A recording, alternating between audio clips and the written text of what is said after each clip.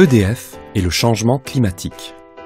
Dans un contexte d'urgence climatique, il s'agit dès à présent de réduire la dépendance de nos sociétés au carbone et de limiter le recours aux énergies fossiles, notamment pour les transports, les bâtiments et la production d'électricité.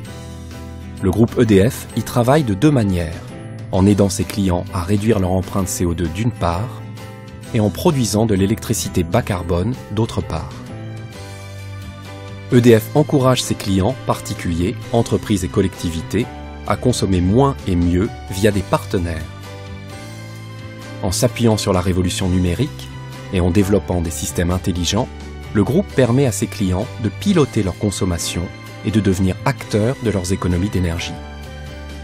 La production d'électricité d'EDF en France est l'une des moins émettrices de gaz à effet de serre. En s'appuyant sur les performances du nucléaire, le groupe entend accélérer le développement des énergies renouvelables et des énergies locales avec l'ambition de doubler sa capacité de production renouvelable au niveau mondial d'ici 2030. Il accompagne la transition énergétique des villes et des territoires, qui sont des acteurs incontournables de la lutte contre le changement climatique. Ces actions portent sur le conseil en amont, la production d'énergie à partir de ressources locales, l'efficacité énergétique et la mobilité. La question du changement climatique ne concerne pas seulement la réduction des émissions de CO2. Elle comprend aussi l'adaptation aux conséquences, déjà visibles, des dérèglements climatiques.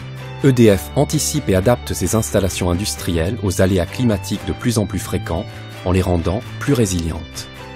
EDF, acteur engagé pour le climat.